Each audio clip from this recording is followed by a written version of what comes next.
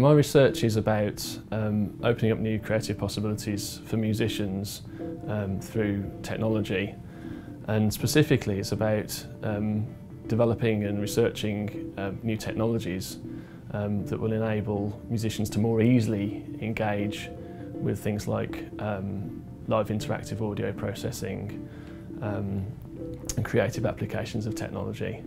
Um, it's often they can find it quite difficult to work with um, new technologies. Um, so my research really aims to bring the technology to the musician and um, reframe the technology in a language that the musician understands.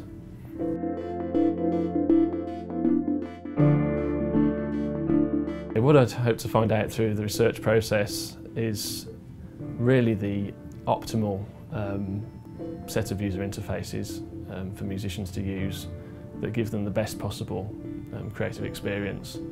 Um, so it's really just going on a journey to find out how far we can take that and how um, how fluent we can make their process, their, their creative process and their musical process. Because I feel like we're a long way from the optimum at the moment. There's a, there's a long way to go in terms of improving interfaces for musicians.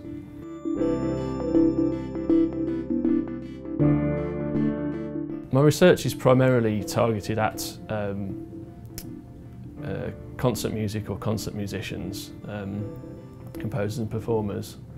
Um, so they'd be the primary uh, beneficiaries of it. Um, and that includes a lot of people who don't already use um, technology at all. Um, but I'd also expect people who do currently use music technology to benefit. Um, so that would include um, popular musicians as well, who are already using technology in quite sophisticated ways.